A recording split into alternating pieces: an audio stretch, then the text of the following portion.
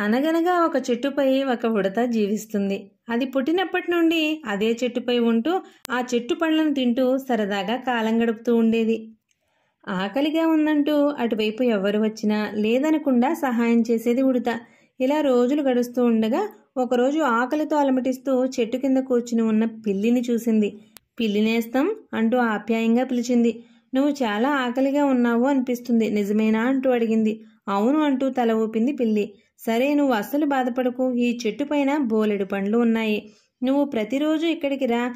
నేను నీకు పండ్లను నా నోటితో కొరికి కింద పడేస్తా. నువ్వు వాటిని తిను అంటూ చెప్పింది ఉడత.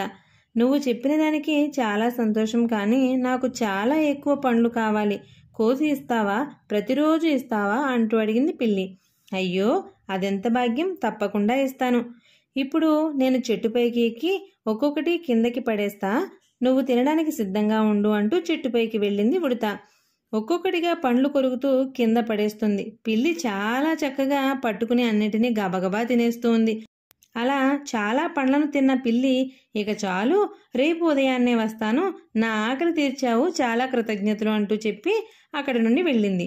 ఉడత చాలా సంతోషంగా నా వల్ల ఒకరి ఆకలి తీరింది. అన్ని పండ్లు తెంపడం కష్టంగా ఉన్నా పిల్లి ఆకలి తీర్చగలిగాను. అది చాలు అనుకుని వెళ్ళి నిద్రపోయింది. ఉడత నిద్రలేచే సమయానికి పిల్లి చెట్టు కింద సిద్ధంగా ఉంది.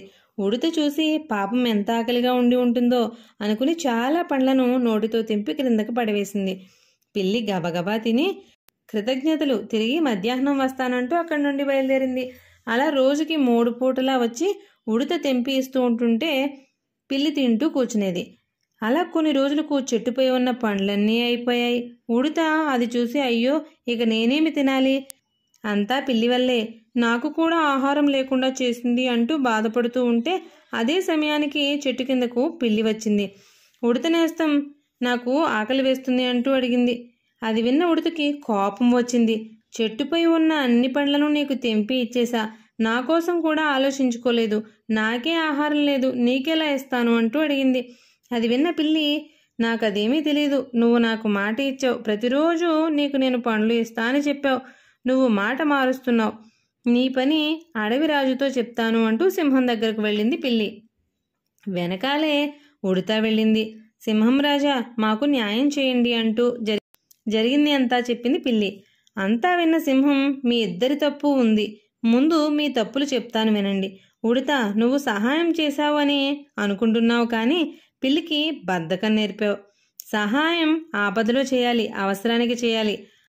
అతికిపోయి నీకు ఆహారం లేకుండా చేసుకున్నావు. ఇంకా పిల్లి నీ తప్పు.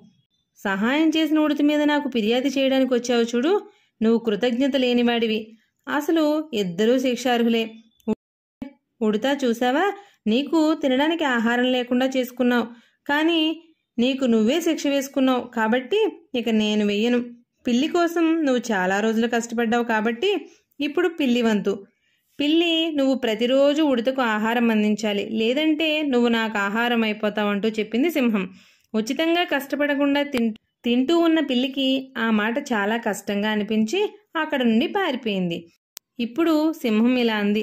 నీ సహాయం గొప్పదే కానీ మితిమీరిన సహాయం మంచిది కాదు. ఎవరికి సహాయం చేస్తున్నామో కూడా చాలా అవసరం. ఇకనైనా జాగ్రత్తగా ఉండు అంటూ చెప్పింది. ఈ కథలోని నీతి సహాయం చేయడం మంచిదే. కానీ మంచివారిని ముంచేవారు ఈ లోకంలో ఎక్కువ ఉన్నారు కాబట్టి జాగ్రత్త అవసరం. నీకు అవసరం లేనప్పుడు ఎవరి నుండి సహాయాన్ని కోరవద్దు. ఆ సహాయం అవసరంలో ఉన్న మరొకరికి వెళ్తుందేమో. కథ బాగుంది కదండి? నచ్చితే వీడియోని లైక్ చేయండి. మరిన్ని మంచి కథల కోసం వాయిస్ ఆఫ్ ఝాన్సీ ఛానల్ని సబ్స్క్రైబ్ చేసుకోండి. ఉంటానండి.